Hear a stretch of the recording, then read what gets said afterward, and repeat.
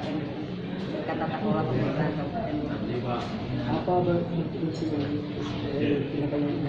perhatian? Iya, kami selalu monitor. Kami punya dashboard perbaikan eh, tata kelola di pemerintah Kabupaten Bone dalam konteks namanya Monitoring Center for Prevention yang dibangun oleh KPK sejak tahun 2018 gitu ya sampai dengan 2020. Dan di situ ada skor-skornya. So far untuk Kabupaten Bone saat ini peringkatnya cukup tinggi di Sulawesi Selatan. Tapi kalau di Indonesia masih di bawah masih di bawah ya, tapi kalau di Sulawesi Selatan relatif baik lah bersama dengan Enrekam, Sopeng, Inram dan lain-lain.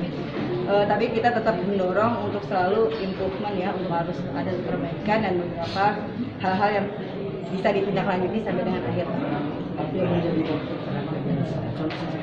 Kalau saya memperhatikan yang perlu didorong dan baik itu dalam konteks satu untuk ranah percepatan sertifikasi aset. Karena masih 45% atau 46% aset-aset di Bone yang tersertifikat, misalnya nggak.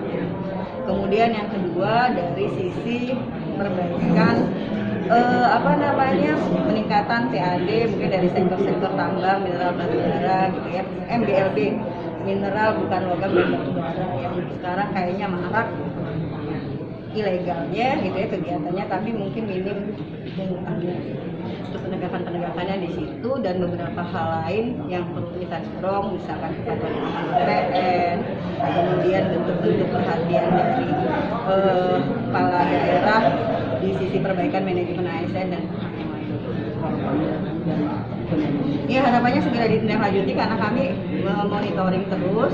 Kemudian kami di KPK membuka diri untuk fasilitasi, koordinasi. Jika memang ada hal yang bisa kita dorong, termasuk kita memfasilitasi pihak Perlinda untuk melakukan kerjasama PKS dengan kantor pajak, misalkan untuk upaya peningkatan pajak. Saya Niken